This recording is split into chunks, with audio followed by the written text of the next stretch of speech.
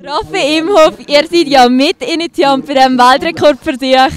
Zuerst mal herzliche Gratulation. Eure 2000 Leute, was ist das für ein Gefühl? Ja, es ist unglaublich. Ähm, ja, wir haben ja gehofft mit 600 Leuten, oder wir haben gesagt mindestens 600, gehofft haben wir auf 1000 Leute. Jetzt sind es über 2000 Leute, das ist unglaublich und, und das, ist, das ist herrlich. Und die Leute haben glaube ich höheren Spass, einfach dabei zu sein. Ja, Wahnsinn. Und was genau ist beim Weltrekordversuch gegangen? Also es geht darum, die größte Skischulklasse von der Welt zu haben. Also im Prinzip ein Skilehrer fährt vor, alle anderen fahren hinten an. Klar, wenn der Skilehrer im Ziel ist, sind die noch längst oben am Start. Aber es fahren immer noch alle in einer Reihe, von Zoberst bis zu Unterschenbri.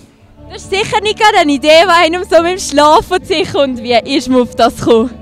Ja, es fehlt eigentlich gar nicht mal so viel. Ich bin vom Ausgang eingelaufen, irgendetwas, ich weiß nicht mehr genau was, nachstudiert. Und da ist mir die Idee wie angesprungen hey, schauen, ob es den Rekord schon gibt was, oder was man könnte machen Und ähm, ja, sie kommen in einen unerwarteten Moment die dummsten Ideen. Es sind ja wirklich unglaublich viele Leute da und immer noch da. Wie schwierig ist das, die Leute zusammenzubekommen? Ja, es ist im Vorhinein sehr schwierig, euch zu sagen, wie viel das wirklich haben. Wer Werbung macht mit Flyer und so, vor allem auch über Social Media, Internet.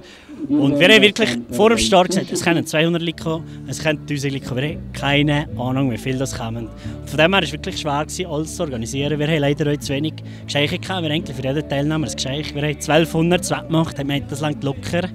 Jetzt haben wir leider nicht einmal für alle das machen Ihr seid selber ja ganz am Schluss mitgefahren. Was war das für ein Gefühl? Gewesen? Also die Piste war himmeltraurig. Aber sonst war es natürlich wunderschön. Gewesen. Überall haben nur Leute zugeschaut und alle haben zugejubelt und frei gehabt. Und das ist unglaublich. Ist der Weltrekord in diesem Fall jetzt erreicht?